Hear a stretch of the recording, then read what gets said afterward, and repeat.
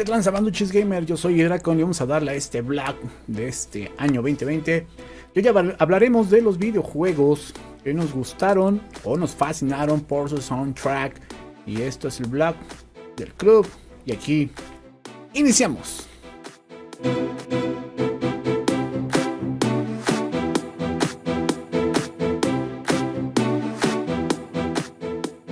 Hola, ¿qué todos amigos amigas? Yo soy el comandante Gafeo, comandante Marcus, y estamos aquí en el apartado del blog. Y hoy toca lo que son los soundtracks del juego que más nos agradó. Bueno, de fondo estarán viendo un gameplay del juego Black de Electronic Arts que se lanzó para lo que sería la PlayStation 1 y Xbox, la primera generación, por así decirlo.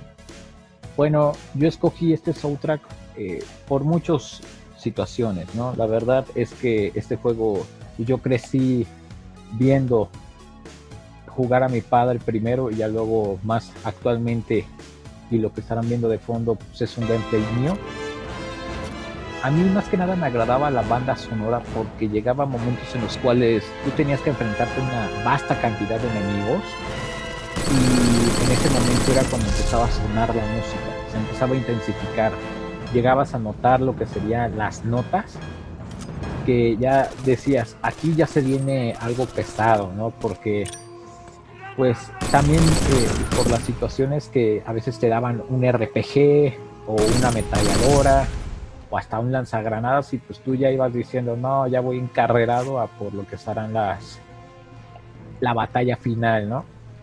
Este juego más que nada consta de lo que serían unas ocho misiones, obviamente son cortas. Y pues con tal de decirles que probablemente si tienes bastante tiempo para jugar en un día te podrías pasar el juego, obviamente la primera vuelta, ya que este juego consta de lo que serían cuatro dificultades, que es la fácil, normal, difícil y si no me lo recuerdo, eh, la que era eh, Black Ops, o pues sí, era más que nada Black, que era ya completar todos, absolutamente todos los, los objetivos primarios y secundarios.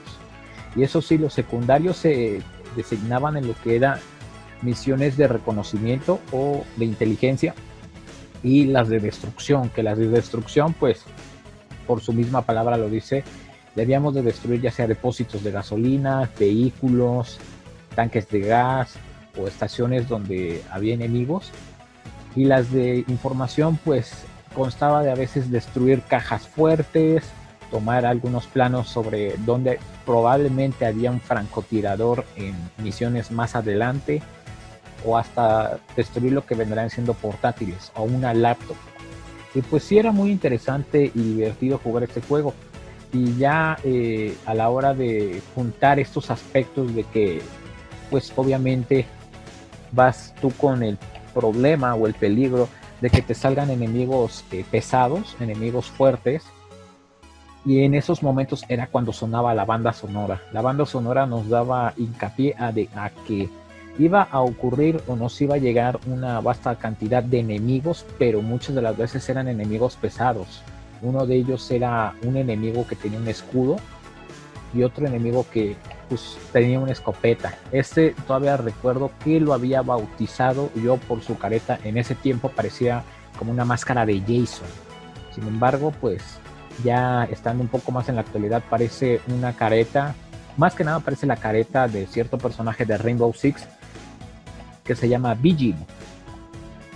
Pero bueno, es por eso, esta es la razón por la cual eh, yo decidí ocupar, o mejor dicho, elegir este soundtrack, porque se me hace uno de los mejores. Obviamente, a mi óptica, a mi punto de vista, es uno de tantos, pero ese es uno de los mejores.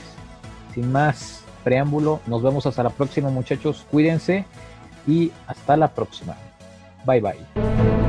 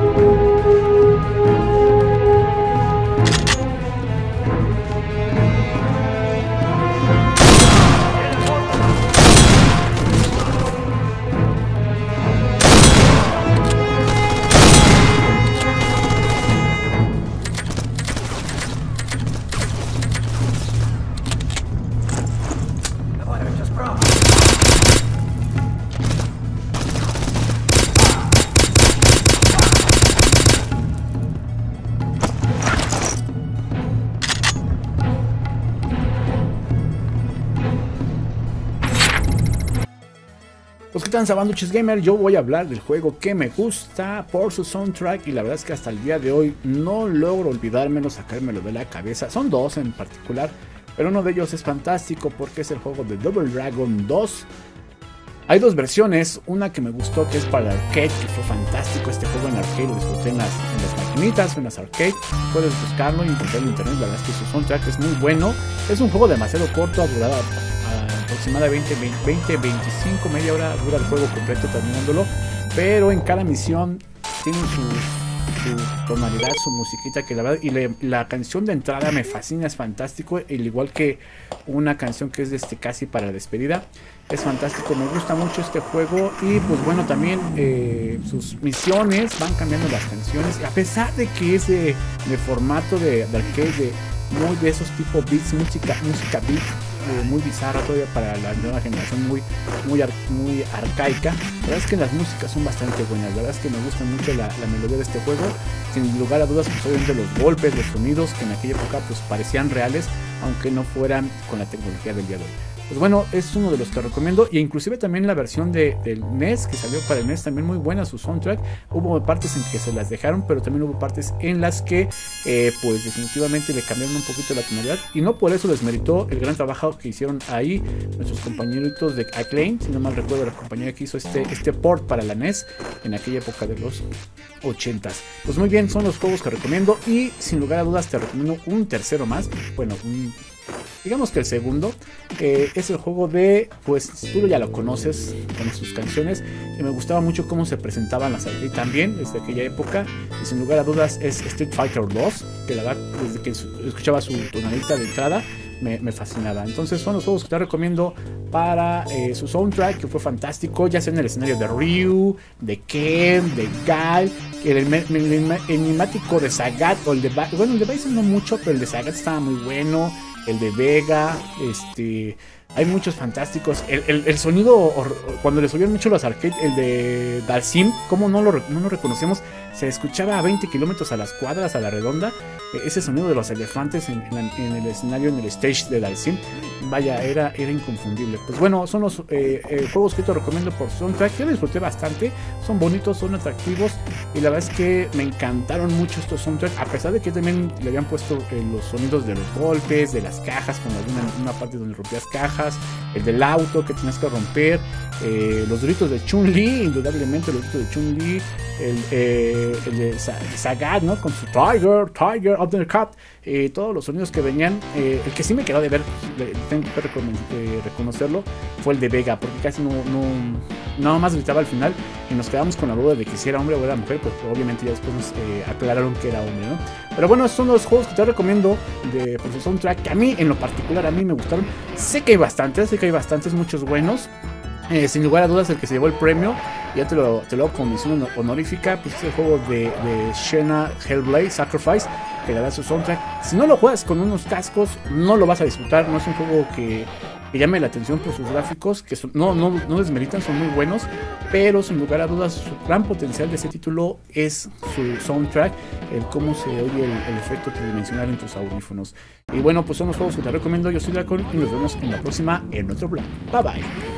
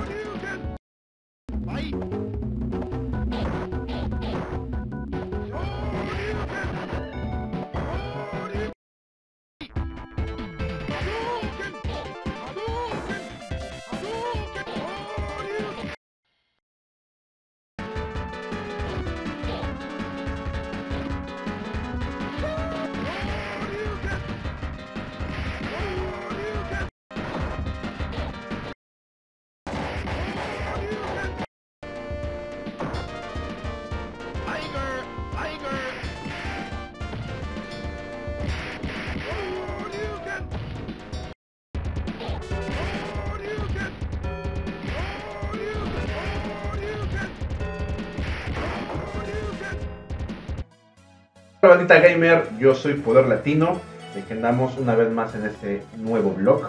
Como ya lo comentaron mis compañeros, vamos a hablar de lo, del soundtrack que nos gustó de todos los videojuegos. Y yo en especial particularmente tengo dos, eh, porque tienen historia.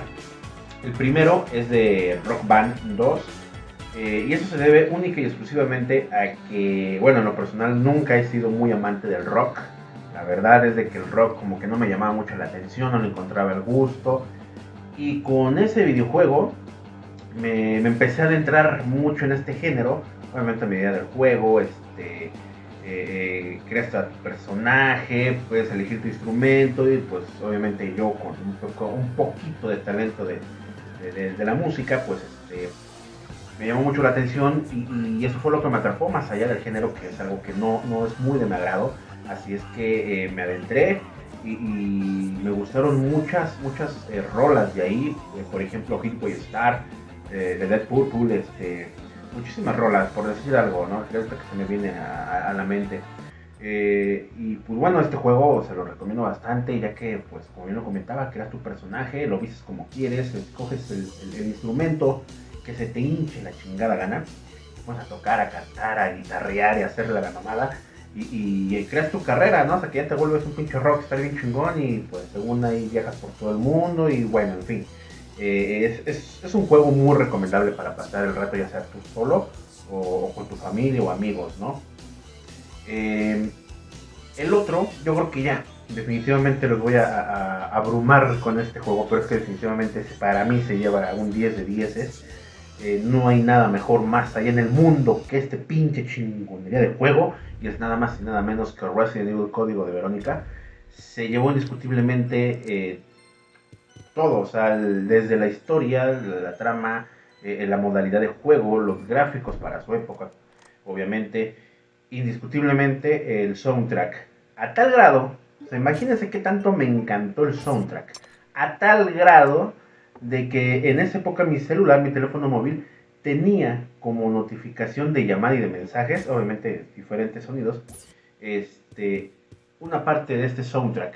¿Qué tipo de soundtrack? Eh, eh, en la llamada tenía el, el- el- sonido de piano del, eh, de la melodía de Alexia y de mensaje de texto, pues en esa época todavía no había este, WhatsApp como hoy en día, ¿no? Solamente era llamada y mensaje de texto. Tenía eh, Alexia cantando precisamente. Imagínate a qué grado llegué de, de, de- estar tan locamente enamorado de este videojuego que me encantó mucho que eh, tuve sus, su sonido, su soundtrack incorporado a mi dispositivo móvil de esa época.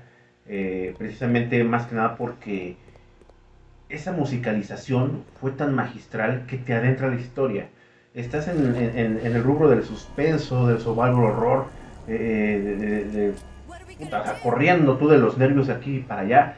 Y la musicalización que le metieron fue extraordinaria y, eso te ayuda a estar dentro de- de- del mismo videojuego. Imagínate los gráficos excelentes y con un buen, una buena eh, musicalización. puta, o sea, jugar eso a las 2, 3 de la mañana era una exquisitez de exquisiteces. Y si no han jugado su juego, definitivamente tienen que jugarlo para que me puedan comprender un poquitito de por qué le digo que es el, el amo y señor de todos los juegos desde mi óptica. Bueno, no tanto, pero sí, es un excelente juego.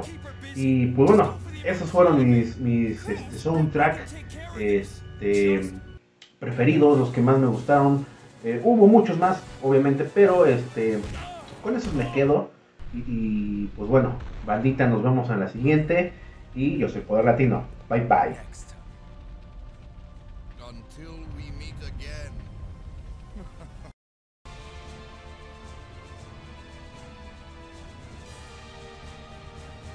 Your identification number is WKD 4496. Welcome to your new home. Her name is Claire Redfield. We caught her trespassing in our Paris lab facility 10 days ago. She apparently infiltrated the complex looking for her lost brother, Chris Redfield, one of the surviving members of RPD's famous STARS teams.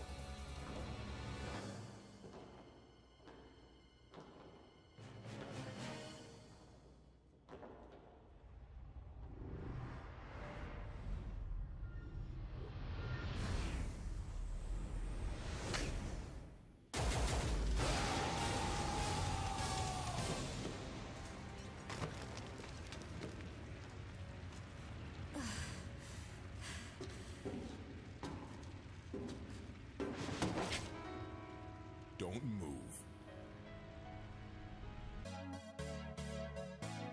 Hey, pues gente, ya llegó a final este video. Si les ha gustado, no olviden suscribirse, darle like, compartir, activar la campanita de notificaciones y esperando a que les haya gustado. Un fuerte abrazo aquí desde el club. Nos vemos hasta la próxima. Adiós. Bueno, aquí termina otro video de Gamer. Recuerda suscribirte, darle like y ver más videos. También ponte en contacto en las redes sociales. Yo soy Marlene Block y hasta la próxima.